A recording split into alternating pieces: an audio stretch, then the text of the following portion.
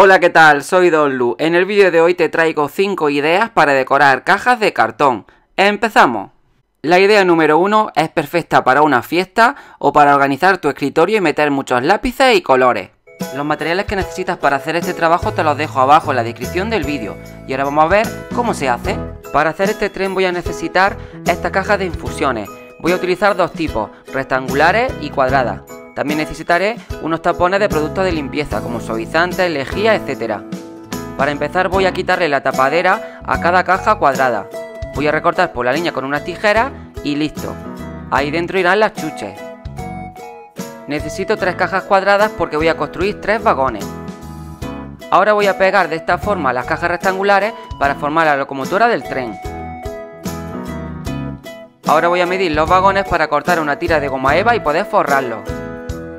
Lo voy a ir forrando poco a poco y pegando con silicona caliente.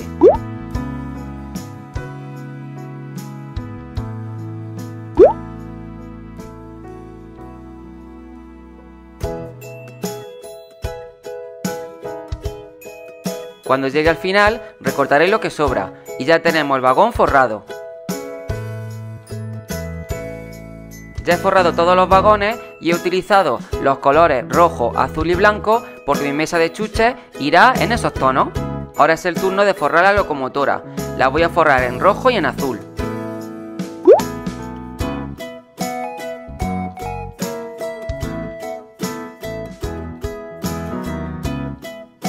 En la parte superior de la locomotora le voy a colocar dos tiras de cartulina metalizada.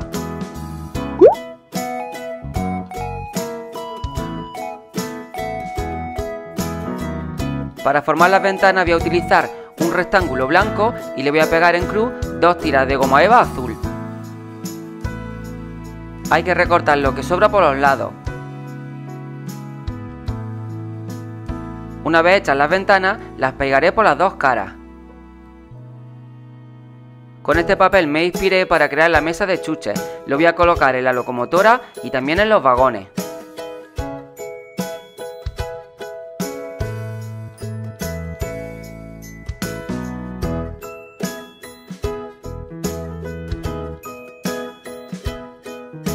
La chimenea del tren la voy a construir con estos tapones.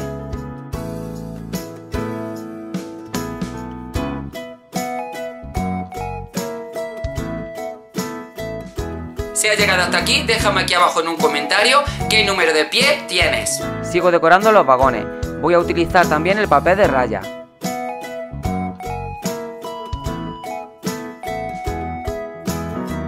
Voy a terminar de decorar el vagón con dos corazones de goma eva.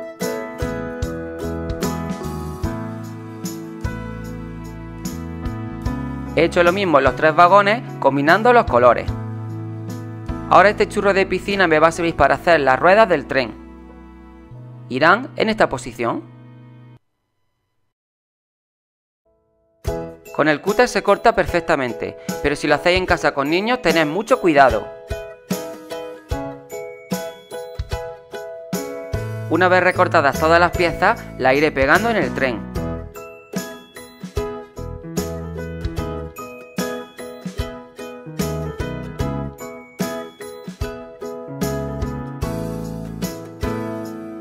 La locomotora va a llevar tres ruedas y los vagones solo una.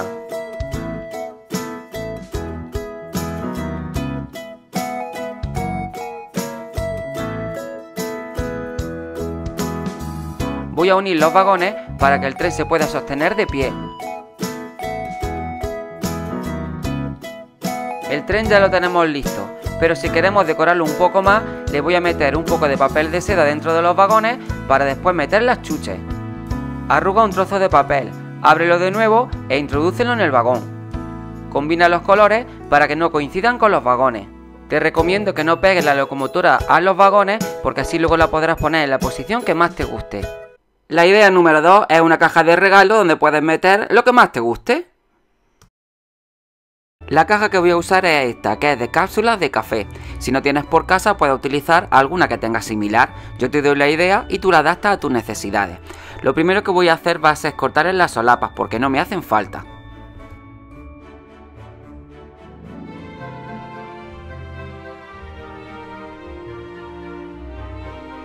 Una vez recortada me queda así, una caja perfecta, cuadrada y genial para hacer una caja de regalo. Ahora voy a pintarla de blanco utilizando la pintura la tiza de Decoar y un pincel de esponja. Si no tienes pintura la tiza puedes utilizar acrílica, aunque habrá que darle a lo mejor alguna capa más. Voy a aplicar la pintura a toquecitos porque así se agarra mejor. Una vez pintada la caja completa la voy a dejar secar y le voy a dar una segunda capa.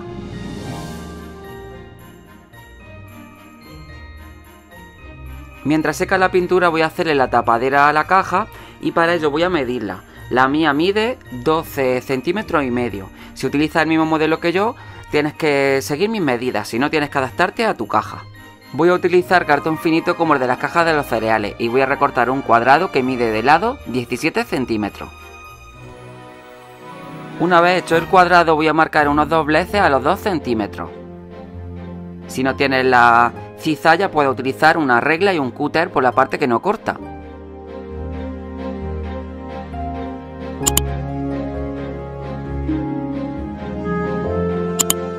Voy a repasar con un lápiz las marcas que me han salido para que las puedas ver, pero no hace falta repasarlas, esto simplemente lo hago para que se vea bien en el vídeo.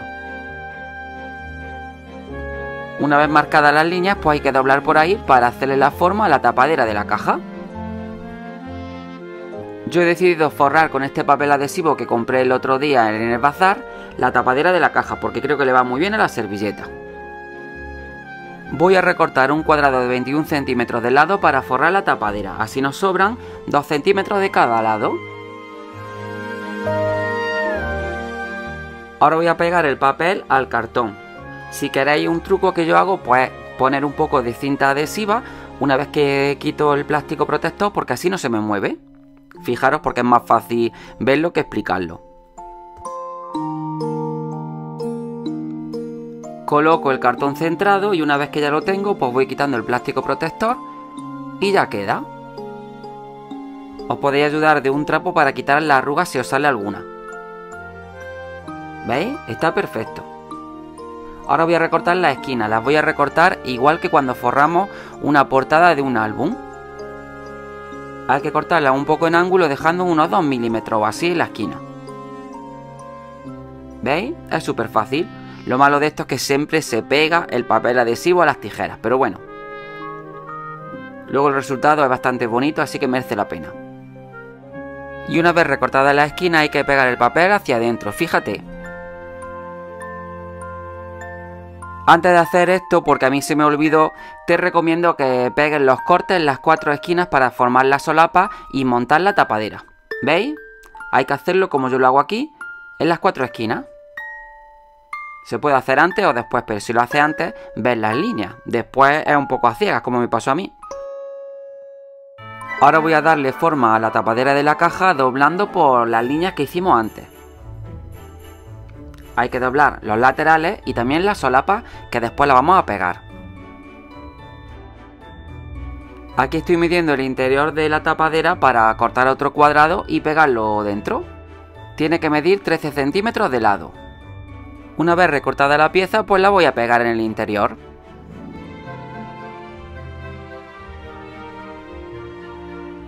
Y ya solo me queda hacer el montaje de la tapadera. Voy a pegar las solapas con silicona caliente.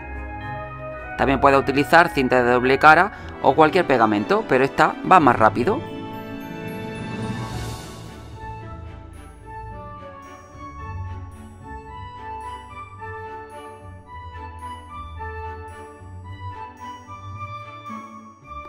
Ya tenemos terminada nuestra tapadera. Comprobamos que viene bien y seguimos con nuestro trabajo. Yo he hecho varios modelos de tapadera, porque esta la he forrado con papel de imitación a madera, ¿veis? Y también queda súper bonito. Eso ya, dependiendo del papel que tengáis, le podéis dar un toque u otro. La servilleta que voy a utilizar para esta caja es esta, que tiene cascade navideño. La verdad es que mola muchísimo, pero como siempre os digo, pues podéis utilizar la que tengáis por casa. Podéis decorar la caja para un cumpleaños, para alguna fiesta en concreto, pero yo la voy a hacer para Navidad. Lo primero que voy a hacer va a ser cortar 8 cupcakes, que son los que voy a utilizar, y guardar el resto de la servilleta para otros trabajos. Con un pincel mojado en agua voy a recortar los cupcakes. Esto lo hago así porque queda eh, un corte irregular y luego se integra mejor la servilleta cuando hagamos el decoupage sobre cualquier objeto. Así que ya lo sabéis. Lo podéis recortar con tijera o así que se queda mejor. Y que no se olvide que tenéis que quitarle las dos capas blancas de la servilleta que no sirven para nada. Os tenéis que quedar solo con la del dibujo, ¿veis? Así. Y aquí tengo ya los 8 cupcakes recortados. La caja ya se ha secado completamente y voy a decorarla. Voy a utilizar esta cinta que tenía por el taller, que es muy de Navidad, por supuesto. La voy a colocar en la parte inferior y la voy a ir pegando con silicona caliente. Mientras hago esto te recuerdo que tengo redes sociales donde comparto cosas que por aquí no puedes ver, así que no olvides seguirme. También te recuerdo que tengo TikTok, se llama Don Lunatic, y tengo otro que es Don Lo Musical, así que ¿a qué esperas? Sígueme por todos lados. Una vez terminada, nos queda así. Ahora voy a pegar los cupcakes a la caja, utilizando el pegamento para decoupage de Decoar. Lo voy a hacer como siempre lo hago. Voy a poner una pequeña cantidad, la voy a extender con el pincel y después con mucho cuidado voy a colocar la servilleta encima.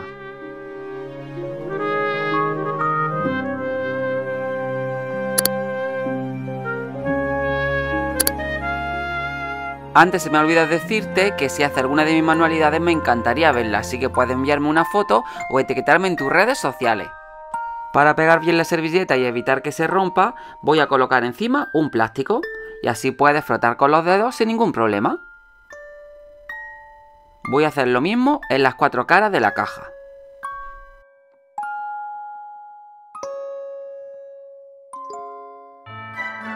Una vez que se hayan pegado perfectamente, voy a darle otra capa de pegamento por encima, porque así lo vamos a proteger. Tened muchísimo cuidado con el pincel porque las servilletas son muy frágiles y se rompen muy rápido. Y esto es todo el rato igual, así que voy a hacer lo mismo en las cuatro caras.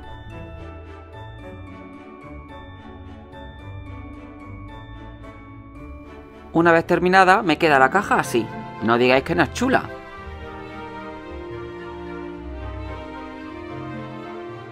Para darle un toque de brillo dorado a la caja voy a utilizar la pintura Galaxy Glitter de Decoar. Hay muchísimos colores y podéis combinarlos dependiendo de vuestra servilleta.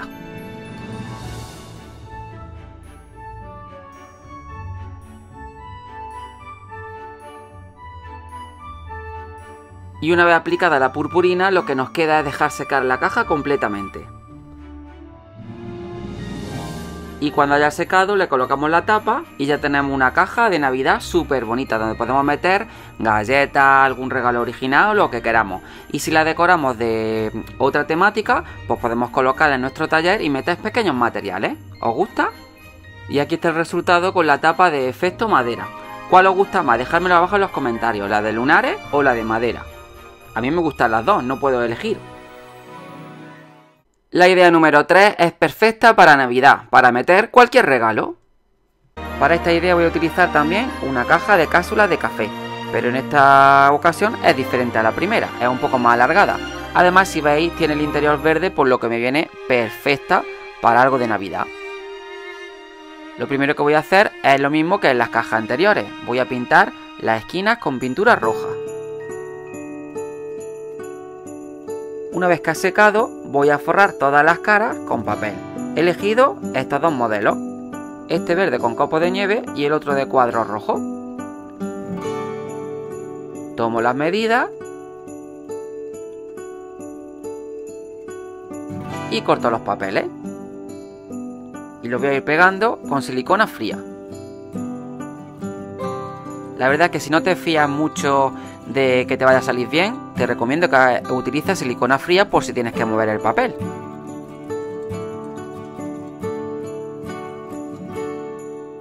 Una vez pegados los cuatro laterales, me quedan así. En la parte superior voy a hacer lo mismo, pero con el papel verde de copo de nieve. Voy a ir pegando y forrando todas las pestañas.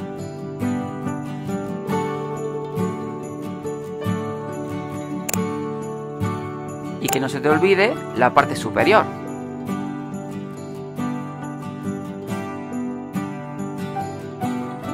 Ahora voy a hacer un paisaje de nieve utilizando estas mini carpetas de embossing y la mini Happy Cat.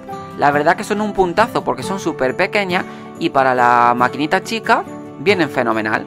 Las otras son muy grandes y en esta máquina no caben. Mira cómo funciona, es súper fácil. Abrimos la carpeta, metemos el papel o la cartulina, hacemos el sándwich con las dos placas. Eso se llama sándwich, no me lo he inventado yo, ¿eh? Y la pasamos por la mini Happy Cat. Una vez que lo pasemos, pues va a quedar el relieve de puntitos y además tenemos la suerte de que hay muchísimos modelos. Si no tienes esta maquinita, no pasa nada, puedes hacer simplemente la nieve lisa. Yo te doy la idea y tú, pues ya, dependiendo de las herramientas que tengas, pues puedes hacer esos diseños. ¿Ves qué bonito?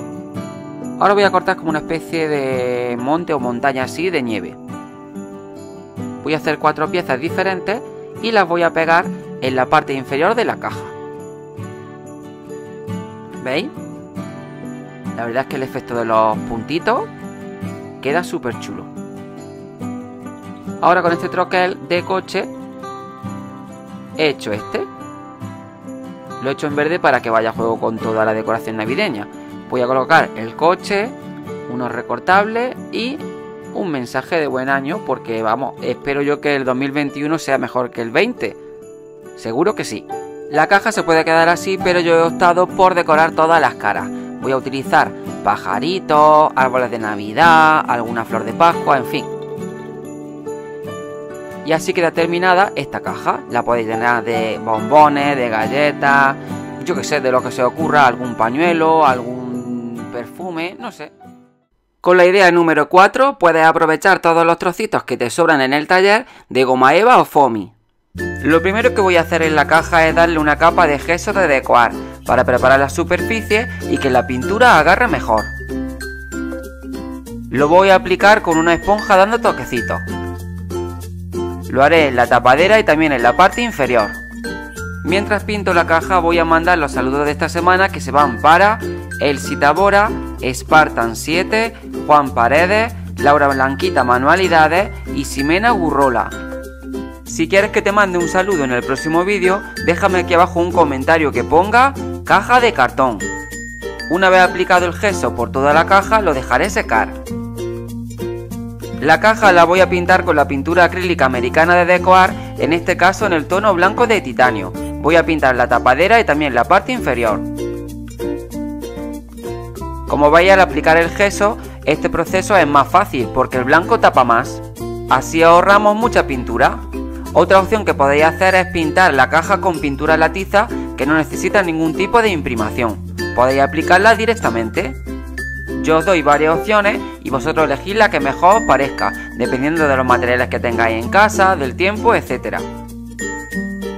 Y una vez pintada completamente la caja hay que dejarla secar.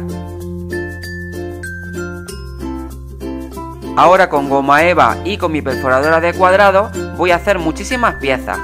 Como siempre te dejo los enlaces a todos los materiales que uso abajo en la descripción, por si quieres comprar alguno.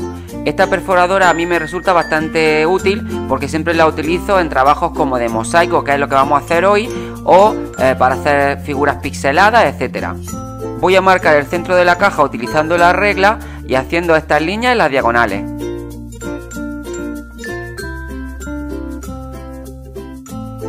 Para pegar los cuadraditos que van a ser las teselas del mosaico, voy a utilizar silicona fría, porque así puedo mover la pieza si me equivoco. Si utilizas silicona caliente eso no lo podría hacer. Voy a aplicar un poco de pegamento y voy a ir colocando las teselas. Al principio pensé un diseño y después he ido un poco improvisando, así que te dejo con el resultado. Recuerda que esto lo puedes hacer a tu gusto. Mientras voy pegando las teselas para formar el mosaico en la tapadera de la caja, te recuerdo que tengo redes sociales y que por allí comparto cosas que aquí no salen, así que no olvides seguirme para enterarte de todo. Y si hace alguna de mis manualidades, por favor, mándame una foto porque me encantaría verla.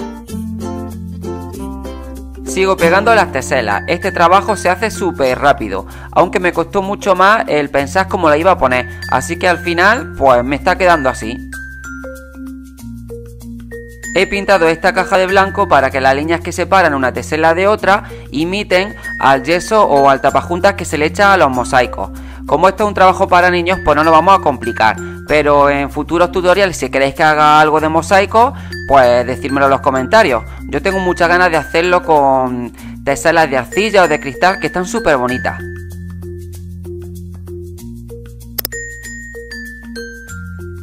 Hay que cubrir completamente de tesela la caja y luego vamos a recortar lo que sobra. ¿Veis? Todos estos bordes los recortamos. En la parte inferior voy a colocar una tira de tesela en el orden de los colores del arco iris. Voy a hacer lo mismo en los cuatro lados.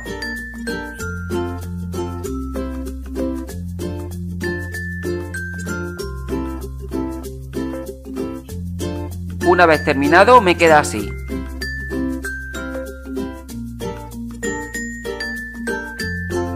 Con esta pintura metalizada de Decoar voy a pintar los laterales de la tapa. Como dije en un vídeo anterior, este tipo de pintura es muy importante que la agitéis para que el resultado sea homogéneo.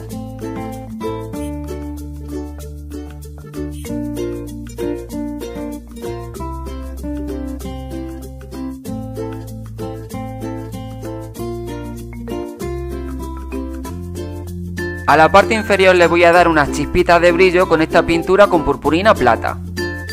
La voy a aplicar con un pincel y voy a dar ligeros trazos por todos lados.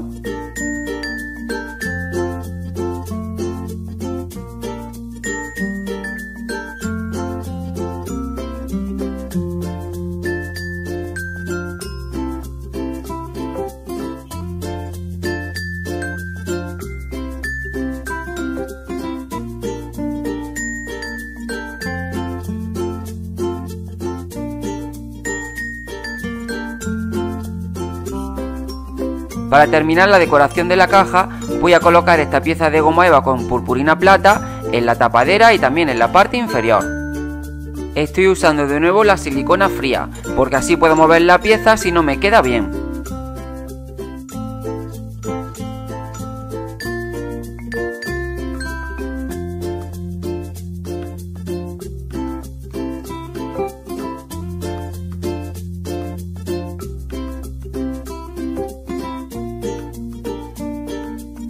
Una vez completamente seca la caja, la tenemos preparada para meter lo que más nos guste. Podemos utilizarla como caja de regalo, para meter alguna chuche, para meter materiales de manualidades, joyeros, etc.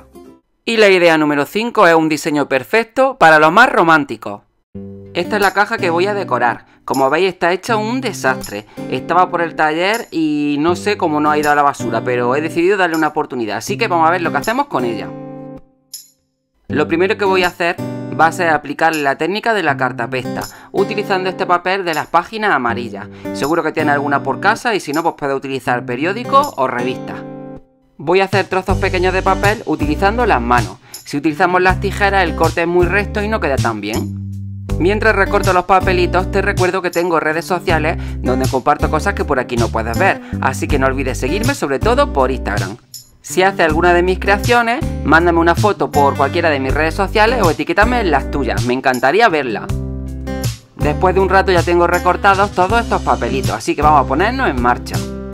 Esta técnica es súper fácil, solo necesitas cola diluida con un poco de agua y un pincel o una brocha. Tienes que aplicar la cola en la caja y poco a poco voy a ir pegando los papelitos.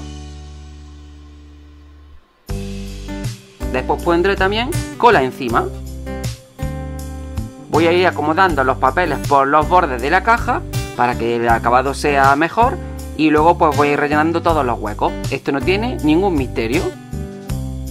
Al aplicarle el papel a la caja conseguimos que sea más resistente y también vamos a realizar una especie de textura que luego cuando aplique la pintura la vaya a ver.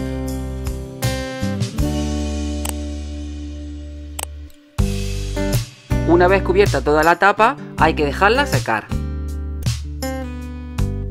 Voy a hacer lo mismo con el resto de la caja.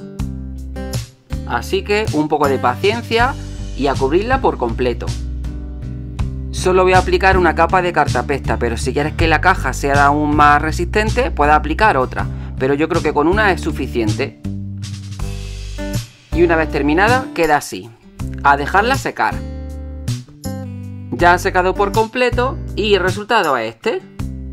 Mirad, ha quedado súper bien. Ahora es el momento de pintarla. Yo voy a utilizar pintura a la tiza.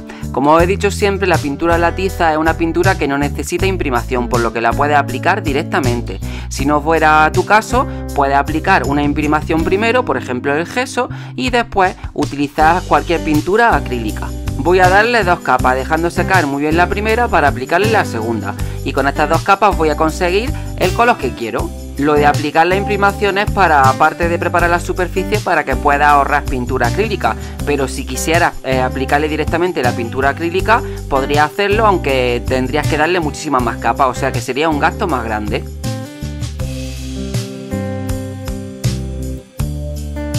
Una vez pintada la tapa de la caja, voy a pintar el resto.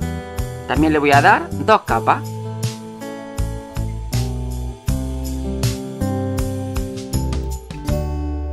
Lo siguiente que voy a hacer cuando ha secado la pintura es envejecer la caja. Para ello voy a utilizar betún de Judea, como veis diluido mucho en agua. El efecto este es muy fácil hacerlo, simplemente tenéis que pintarlo con los brochazos y antes de que seque, con una toallita húmeda o con un trapito, retiráis el exceso. Y así, pues se va a quedar ese tono como envejecido, pero queda también súper bien. Además, si eh, han quedado algunas arrugas con el papel, pues la va a marcar y eso le va a dar un efecto muy bonito con esa textura a la caja. Voy a aplicar el betún por toda la caja y voy a ir retirando poco a poco. Es muy importante que vayáis por partes porque si no se os seca y es imposible retirarlo. Si no tenéis betún de Judea, podéis utilizar pintura acrílica marrón oscura o negra diluida en agua y hará el mismo efecto.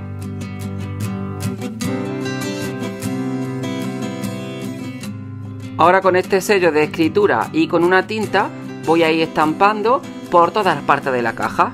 Va a ser un poco así aleatorio, pero creo que puede quedar bien. Le da un toque así también desgastado y un efecto un poco romántico. Si no tenéis tinta, podéis utilizar también pintura. Le ponéis con una esponjita o algo al sello y vais estampando por todos los lados. Da igual que quede irregular porque como veis me está saliendo un poco irregular. No estampa porque no le he puesto tinta a todo el sello, solo a un borde. Voy a hacer lo mismo en la parte inferior de la caja.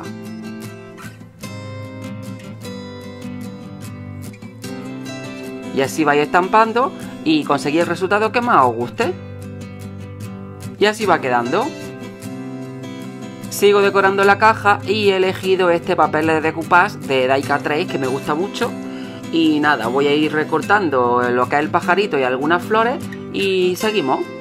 Ya tengo todo recortado y ahora vamos a hacer el decoupage. Para utilizar papel de decoupage es muy importante que le apliquemos una cantidad generosa por la parte inferior, incluso lo podemos eh, mojar con un spray de agua para que el papel quede un poquito más blando, porque al ser más grueso pues es más complicado hacer el decoupage, así que yo estoy aplicándole el pegamento, como veis, con un pincel bastante cargado. Ahora con mucho cuidado lo voy a colocar encima de la tapadera y una vez que ya tenga la posición medio clara, pues voy a aplicarlo otra vez de nuevo, pegamento encima, desde el centro hacia afuera, para evitar que salgan burbujas y arrugas. Esto es más fácil que con la servilleta porque el papel es más grueso y es más fácil, pero tenéis que tener también cuidado porque como le peguéis un tirón sois capaces de romperlo, así que mucho cuidado. En la parte inferior de la caja voy a ir pegando las rosas que he recortado haciendo diferentes composiciones las voy a pegar igual que he pegado en la tapadera el pajarito, utilizando pegamento para decoupage.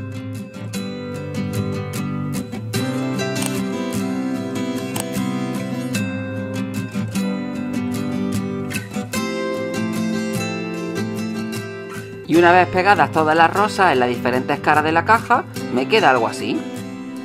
Esto es totalmente opcional y depende del papel que elijas. Puedes elegir servilletas, recortar alguna imagen que tengas por casa, etc.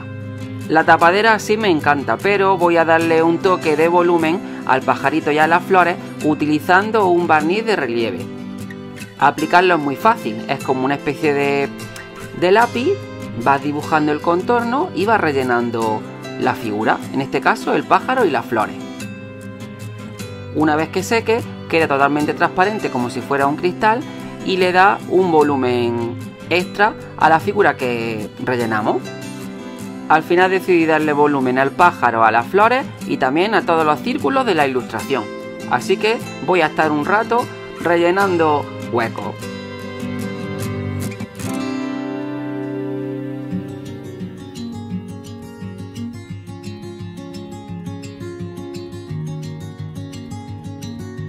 Ya secado y ahora quiero darle un toque dorado, utilizando un stencil y pasta de textura. Si no tienes esta pasta puedes pintar alguna blanca que tenga o utilizar simplemente pintura acrílica. Coloco el stencil, cojo un poco de pasta de textura y lo voy extendiendo. No quiero que sea algo perfecto, así que quiero algo irregular, un poco por darle este tono a los bordes de la caja. Una vez extendido, lo levanto y queda así. Voy a hacer lo mismo en las cuatro esquinas.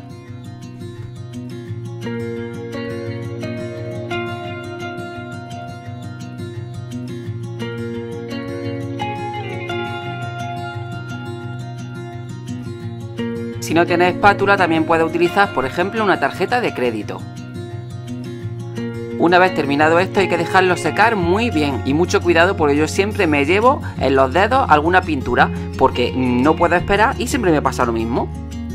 También voy a poner esta pasta en los bordes inferiores de la caja, un poco a lo loco pero yo creo que queda bonito.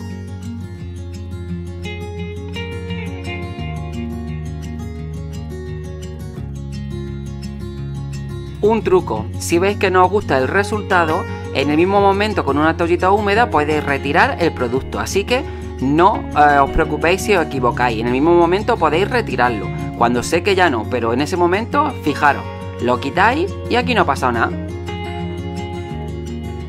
Quiero darle más luz a la caja y por eso voy a utilizar la técnica del pincel seco, utilizando pintura dorada.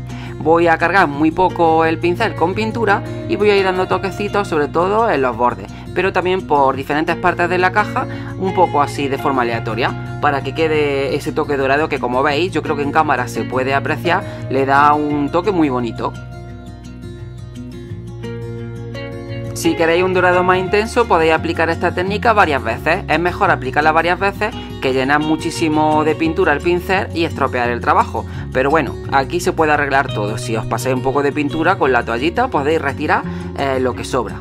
Yo estoy dándole aquí en la esquina y también voy a hacerle como una especie de contorno a las flores para que resalten más.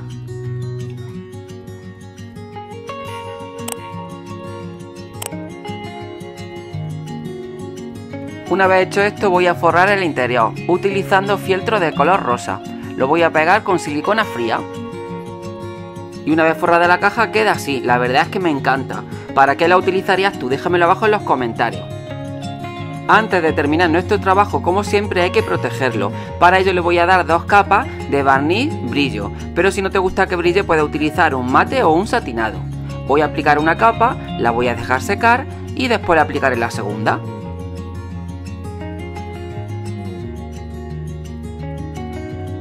Y aquí está el resultado final de la caja, la verdad es que ha cambiado radicalmente, iba ya a la basura y mira, la hemos convertido en algo súper decorativo y súper bonito. ¿Qué os parece?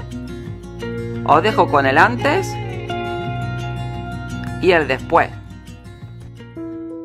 Y hasta aquí el vídeo de hoy, espero que te haya gustado mucho, si es así no te vayas sin dejarme tu dedito arriba, compártelo con todos tus amigos y si has llegado hasta aquí me quiero enterar, así que déjame abajo un comentario que ponga pájaro loco. Nos vemos muy pronto y ahora en pantalla te dejo otras ideas que te pueden gustar. ¡Chao!